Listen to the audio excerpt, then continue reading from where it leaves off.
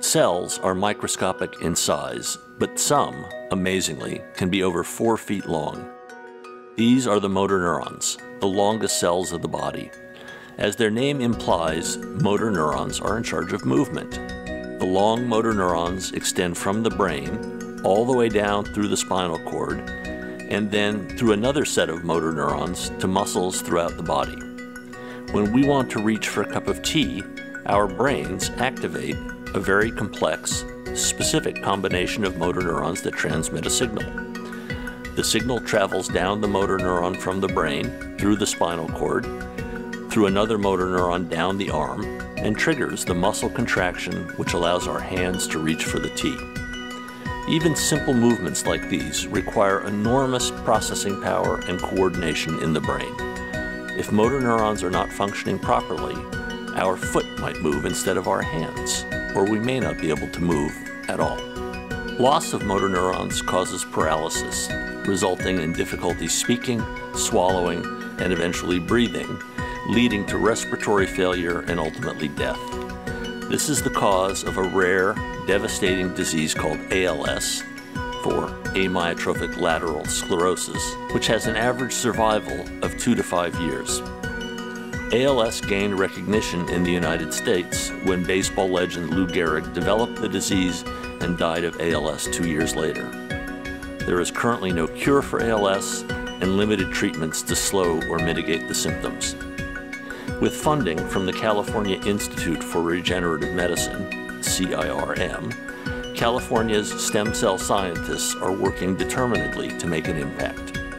So far, we know that ALS is caused by the degeneration and eventual death of motor neurons throughout the body. In 5 to 10% of cases, ALS runs in families and is caused by genetic mutations. In 90 to 95% of cases, ALS occurs sporadically.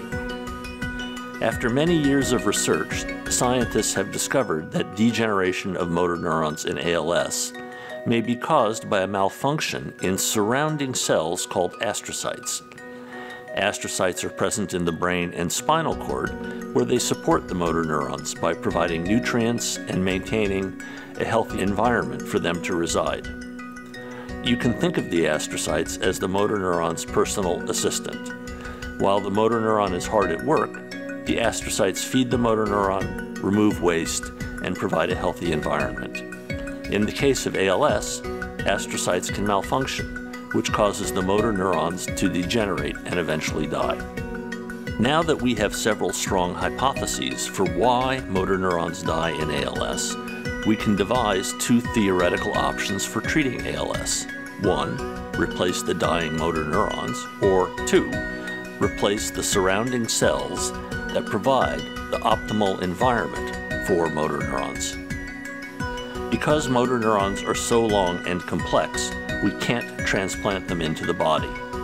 Instead, scientists are using stem cells to find ways to prevent the motor neurons from dying by replacing damaged astrocytes.